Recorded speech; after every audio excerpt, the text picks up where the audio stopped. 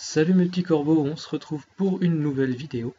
Euh, aujourd'hui, nouveau principe sur la chaîne, ça va être euh, des vidéos appelées Actu Vanguard, euh, où on va justement parler un petit peu des nouveautés au niveau du gameplay, de ce genre de choses. Alors en guise de première vidéo, on va faire un petit peu le point sur tout ce qu'on a eu au début de l'année, là donc depuis janvier. Et euh, on va voir également euh, tout ce qui va être prévu pour, euh, après. Donc on est le 11, 11 avril, ouh là, 11 novembre, j'aime les jours fériés. donc voilà. Donc on va commencer tout simplement avec les, différentes sorties qu'il y a eu depuis janvier. Alors, depuis janvier, qu'est-ce qu'on a eu? Le 8 janvier, on a eu la Fighters Collection numéro... la G Fighters Collection donc la Fighters Collection 2015 Winter, donc là où on avait à nouveau des strides pour tous les clans sauf Cré Elemental et étrangers. Euh, voilà, franchement la boîte était pas... Tant le, design de la boîte était bien classe, autant des clans ont eu du bon support, d'autres beaucoup moins. Euh, je pense notamment aux OTT ou Floral Wish, euh, c'est... bref, c'est pas top. Euh, voilà, c'était pas une boîte exceptionnelle en soi, elle a apporté quelques petits trucs sympas, mais sans plus. Euh, ensuite, à la fin du mois, le 29 janvier, on a eu donc la, GBT05 Moonlit Dragonfang. Putain, j'ai oublié une lettre. Euh, donc qui contenait du Palm Moon. Ça faisait plaisir de les revoir, pas spécialement motivé pour, mais voilà. de l'OTT qui comportait euh, deux cartes pour le support Tsukuyomi et ça c'était cool. Euh, du Link Joker, euh, du Narukami et du Gear Chronicle. Gear Chronicle qui apparaît 3 ou 4 fois sur les 5, 5 GBT, ce qui fait beaucoup. autant, c'est peut-être pas autant que Kagero Royal avant. Oh, quoique. Quoique, quoique. donc voilà. Ensuite, on a eu euh, au mois de février, le 19 février, euh, la, Technical Booster 1, la GTB 01, euh, The Reckless Rampage. donc du support pour trois clans qui sont un peu à part dans, tout, dans toutes les boîtes, que sont Nubatama, Spike Brothers et Tashikaze.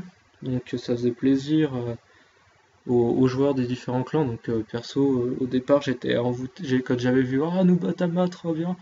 Et au final. Euh, voilà, bref. Enfin, c'était surtout remonter un deck à côté basé avec Shiranui, un petit peu tout ça. Il y avait deux trois cartes qui étaient intéressantes, mais on va dire que c'était pas la, joie. ensuite, petite sortie de TD c'est pas réellement un TD. Euh, c'est le premier starter deck, donc les, TD euh, low cost euh, qui commencent à sortir. Donc là, c'était Odyssey of the Interspatial Dragon, donc pour Gear Chronicle. C'est plutôt sympatoche pour débuter, après, c'est pas forcément ce qu'il y a de mieux. Avec deux, on a quand même nos 4 perfects. Oula, pourquoi 8 4 perfects. en en prenant deux, donc ça va encore toujours plus rentable que les vieux TD. Euh, toujours au mois de mars, enfin le TD, le starter c'était le 11 mars. Euh, un peu plus tard, le 25 mars, on a eu droit à la, GBT 06, euh, Translation of Blade and Blossom, donc qui contenait du Grand Blue, qui venait d'avoir le support juste avant avec le TD 08, le GTD 08 Vampire Princess of an Donc voilà. Euh, donc euh, il y avait du Shadow Paladin, du Royal Paladin, du Néonectar, et il m'en manque un. Euh, Nova Grappler, voilà putain. Donc voilà, au niveau des sorties, c'était un peu vite fait, c'était un petit, petit retour sur les sorties du mois. perso, là, les dernières sorties, je les ai pas trop, pas trop suivies parce qu'il n'y a pas de clan que je joue en particulier. Donc euh, j'avais laissé ça un peu de côté. Donc on va regarder un petit peu maintenant le, planning des, sorties de ce mois-ci et euh, jusqu'en juillet-août.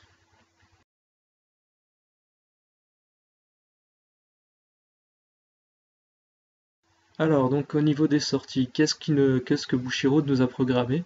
Donc en janvier, ils avaient annoncé un planning et euh, maintenant on a un peu plus de précision du coup. Euh, en même temps, il y a eu 4 mois, 3 mois entre temps.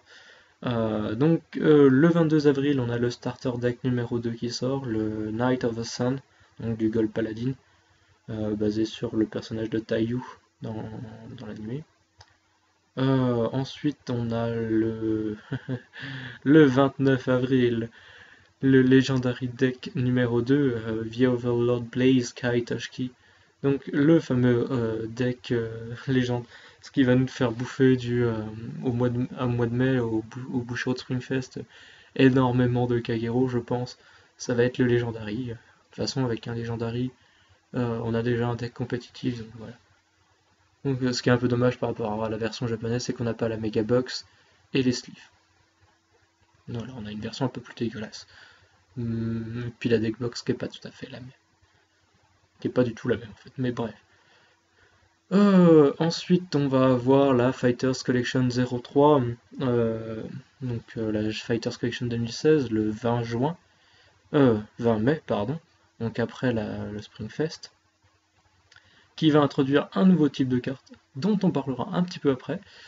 Et voilà, tout simplement, on va en parler après. Mais ce qui est plutôt pas mal, du coup, c'est que tous les clans auront directement. Il n'y en a pas dans les, des boîtes avant ou après.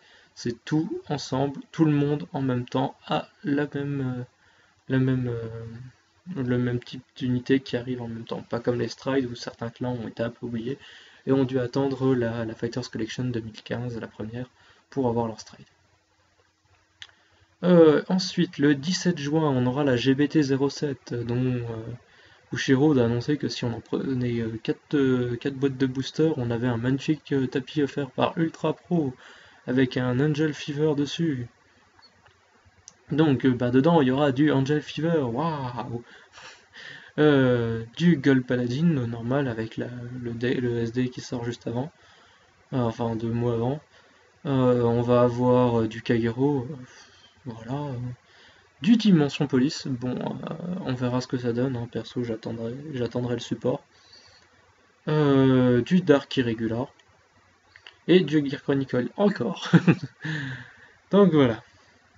Et le 22 juillet, on va avoir, préparez-vous messieurs, la CB03, donc la, la clan booster numéro 3, Blessing of Divas, donc, euh, amateur de diva, amateur de sirène, amateur de loli, cette boîte est pour vous.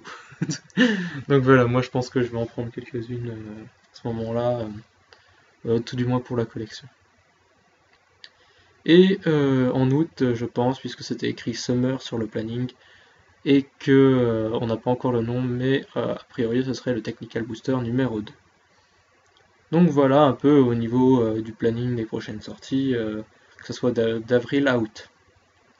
Je vais vous proposer un peu de parler euh, vite fait euh, justement maintenant de toutes les news euh, qui vont arriver et ce dans l'ordre où, on les a apprises.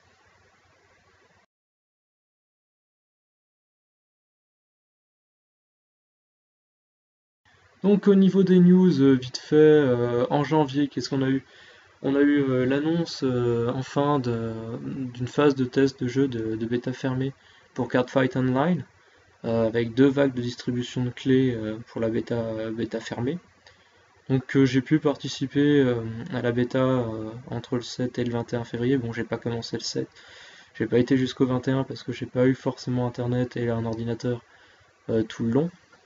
Mais, mais voilà, on a eu j'ai pu faire un petit peu, tester un petit peu, et c'est vrai qu'il y avait pas mal de soucis.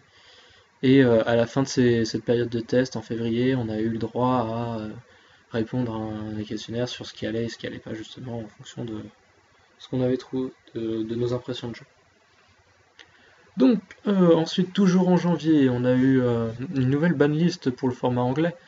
donc, il y a Sword Me, euh, qui ne peut plus, en, format clan fight, ne peut plus être joué avec les des Royal Paladins, mais enfin, avec tous les decks Royal Paladins, il peut être joué uniquement dans un deck euh, G-Will Knight, puisque c'est G-Will Knight, euh, Sword Me, je sais plus trop quoi.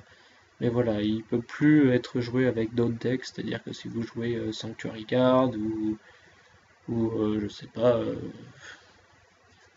Ouais, non, enfin, par exemple, Sanctuary Guard, vous pouvez plus jouer Sword Me dans votre deck depuis janvier. Et euh, l'autre, euh, l'autre c'est euh, Flash Ripple Odysseus qui est limité à 2 de copies par deck.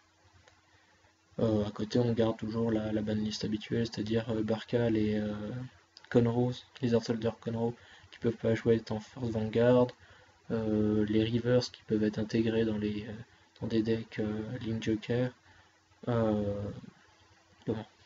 euh, Qu'est-ce qu'il y a d'autre? Il y a les 4 Blaster Dark dans le Culpate de Blaster. Euh, mais voilà, il n'y a pas non plus euh, des masses de modifications de ce côté-là. la news suivante est arrivée au mois de mars. C'était la, version italienne de Vanguard. Alors, c'était le, le 25, 15 ou 25 mars, je ne sais plus. Euh, à Los Angeles, il y a eu euh, un scoop comme quoi l'éditeur, enfin euh, le distributeur italien avait décidé de faire une, une, édition italienne du jeu. le tout en commençant à partir de la. Ben, là, le 6 mai sortira donc le TD01, le TD02 et la BT01. Alors, en soi, ça peut être bien, mais L'italien, c'est pas une langue qui est énormément parlée dans le monde. Donc très clairement, c'est pas non plus euh, la meilleure idée. Euh, en plus de ça, euh, d'après ce que j'ai compris, le mix des langues anglais, anglais-italien ne sera pas possible. Ce qui est dommage et du coup ça va, ça va créer un circuit un peu indépendant pour l'Italie. Et euh, ben, finalement, les joueurs italiens vont jouer en italien et ils, iront pas, euh, ou alors ils resteront en anglais. Et du coup, euh, là, c'est le fournisseur italien qui sera un peu dans la dèche. À moins qu'il coupe complètement l'anglais pour mettre que de l'italien. Mais là, c'est encore un autre problème. ensuite, c'est des news de ce mois-ci, donc du mois d'avril, c'est du tout frais. on a donc le nouveau type d'unité euh, les G-Guardians, donc c'est des unités qui arrivent en se défaussant, qui sont des, G-Units, donc qui sont dans la G-Zone, et euh, en se défaussant d'un Heal Trigger, on peut les appeler en Guardian Zone. Donc ils, ont déjà 15 000 de shield, donc 5 000 de plus que si on utilisait un heal pour se protéger. Mais en plus de ça, ils ont des effets supplémentaires, ça peut être encore plus 5000 en shield, donc euh, on aura déjà une défense à plus 20 000. Donc quand on est cross-ride, ça fait une défense à 33 ce qui n'est pas dégueulasse en soi, et c'est donc ces unités-là qui vont arriver en, tout en même temps dans euh, la Fighters Collection 2016. Donc la dernière news, euh, news pardon, euh, c'est les G-Guardians, donc vous vous défaussez de un heal un heal trigger, putain heal perfect, wouh heal trigger pour appeler donc cette G-Unit depuis votre G-Zone en Guardian Zone. Euh, donc généralement elle aura 15 000 de shield minimum. Euh, avec effet elle peut monter à plus. Et euh, vous pouvez en utiliser que 4 par partie. parce que dès qu'il y en a plus de 4 révélés, vous ne pouvez pas. Donc c'est à dire que vous pourriez en mettre 8 et n'en utiliser que 4. Justement, avec l'arrivée de, ces nouvelles G-Units, ça aurait foutu le bordel au niveau de comment je m'organise. Merde, je peux pas je vais pas enlever ça parce que c'est trop bien dans mon deck, machin. Et euh, Bushiro a décidé d'augmenter la taille de la G-Zone. Là où ça fait débat, c'est le nombre. On passe de 8 à 16, donc on double.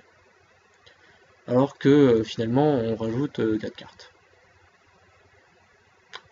Ouais, 8 et 4, ça fait 12.